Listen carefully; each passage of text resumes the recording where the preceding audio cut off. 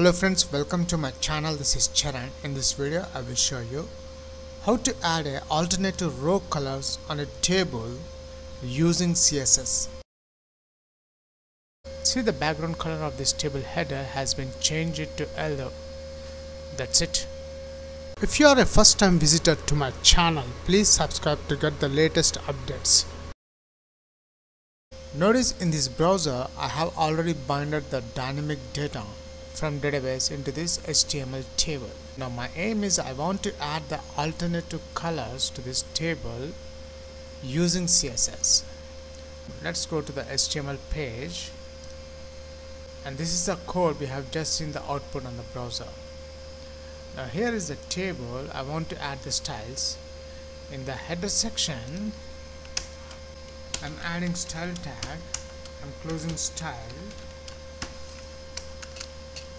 I want to add the colors to the table rows. Style is tr colon nth hyphen of type. The nth of type you can add the even or odd. I'm adding odd here so I want to give background color to the odd rows in a HTML table.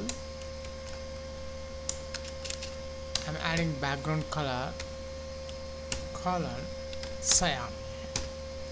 Is a color I want to add to this table. Let's save the file. We'll check the output on the browser. I'm reloading the browser and here we got the output after adding the styles. Now I want to change the background color of the header header only in this table.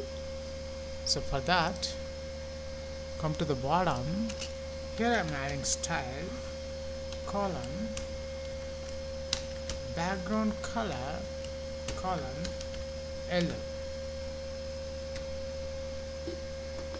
Let's save this file.